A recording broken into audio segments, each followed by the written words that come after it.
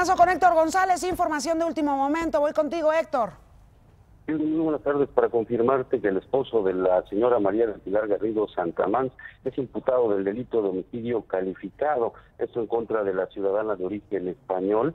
La señora, pues que fue desaparecida el 2 de julio pasado, fue reportado ante la Procuraduría General de Justicia del Estado aquí en Tamaulipas, por lo que las investigaciones desde esta, desde ese 2 de julio y hasta la fecha han continuado. Esta tarde el procurador Irving Barrios Mojica confirmó la aprehensión del esposo de esta ciudadana de origen español.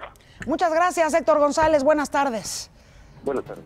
Bueno, alcanzamos con esta información de última hora. Me despido, soy Yuriria Sierra. Nos vemos a las, a las 9 en la noche en Imagen Radio y mañana a las 2 aquí en el 3. Provecho.